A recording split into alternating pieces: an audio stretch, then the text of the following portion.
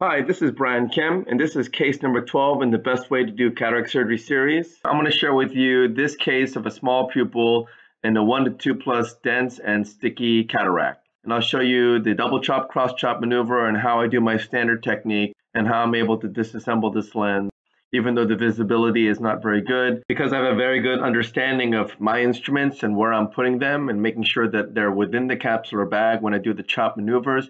You can do this case confidently and without the need for any pupil expansion devices.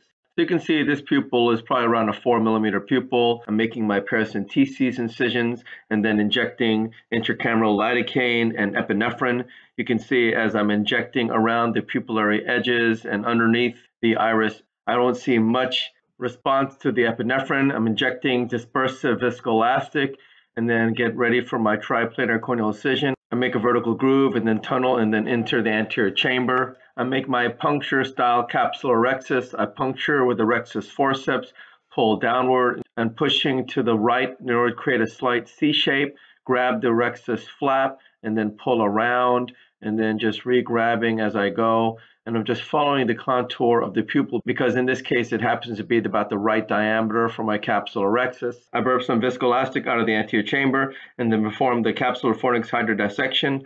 I place the cannula out to the equator, point the cannula tip down. You get a nice fluid wave decompressed to the left side and then I spin the lens to the right side. You can see the lens rotates very nicely.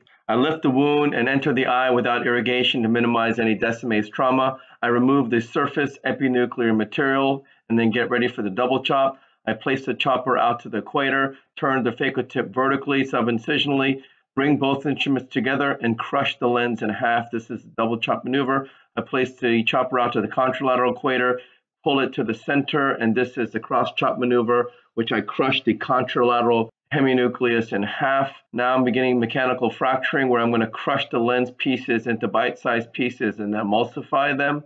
You can see that this first quadrant was then removed very quickly. I'm trying to pull this second quadrant into the AC, but it didn't want to come. So I just manipulate it, and then I'm going to try to re-grab it and then crush it in half. This is a sticky lens, so even though I'm getting good chops, they just don't seem to want to come out of the bag. And so it's very important in these situations not to try to go pedal to the metal and try to grab these lenses using ultrasonic energy or high vacuum because you might grab things that you're not supposed to, especially in this small pupil. You might grab the iris and cause some damage to the iris. It's much better to grab the pieces with the chopper or using a combination of maneuvers, using a little bit of vacuum and the chopper to mechanically kind of bring the pieces into the central safe zone. Half the lens is out, place the chopper out to the equator, place a phaco tip deep in the bag, divide this second heminucleus, making sure it's completely separated, place the chopper out to the equator again, and then crushing this third quadrant in half using the vacuum, lifting the lens up, and then crushing the pieces using mechanical fracturing forces to crush the lens in between the chopper and the phaco tip, using a little bit of vacuum to help position the lens piece right in front of me. This is the last quadrant, place a chopper out of the equator, crush the lens piece in half, again, crushing the lens pieces, sandwiching the lens pieces, and using intermittent bursts of ultrasonic energy and vacuum. This is the final piece. I'm going to crush the lens in half, making sure that the lens is essentially debulked. However, during the last bits that are being removed, I want to keep that chopper deep in the bag as I remove those last pieces. Once the last pieces are removed, I take the chopper out, replace it with a BSS cannula, put the phaco tip out, and then switch it with the I/A handpiece. This is that fluid exchange, and I do this to maintain the chamber stability. Start to remove the cortical material. This is a pretty clean bag. There's not much cortex in there, so I switch to the polish and start polishing underneath the anterior capsular surface.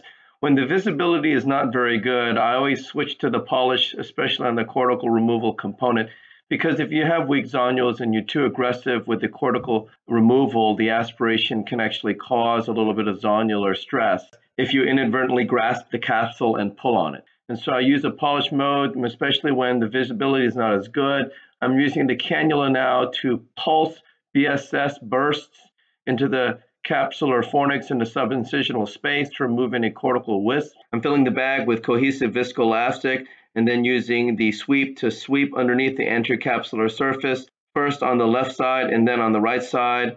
And then I'm injecting my single piece acrylic intraocular lens.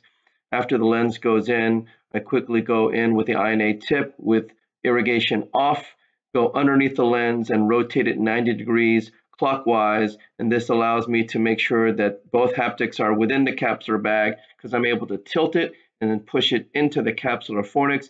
As I tilt it, I lift and then make sure that I remove all the viscoelastic between the posterior capsule and the lens. And then I push the optic into the bag and then evacuate the rest of the viscoelastic in the anterior chamber. And then I hydrate my incisions. So again, this is an example of a small pupil. It wasn't quite of a floppy pupil, but nonetheless it was small. This was a 1 to 2 plus dense lens and a sticky lens. And so it's important to make sure that your instruments are within the capsular bag when you do the double chop and cross chop maneuver. Leverage mechanical fracturing forces to crush the lens pieces. Work in the central safe zone away from the iris and making sure that you protect the posterior capsule whenever you're emulsifying the lens pieces, especially when you're on the last pieces. So I hope this was helpful to you and thank you for your attention.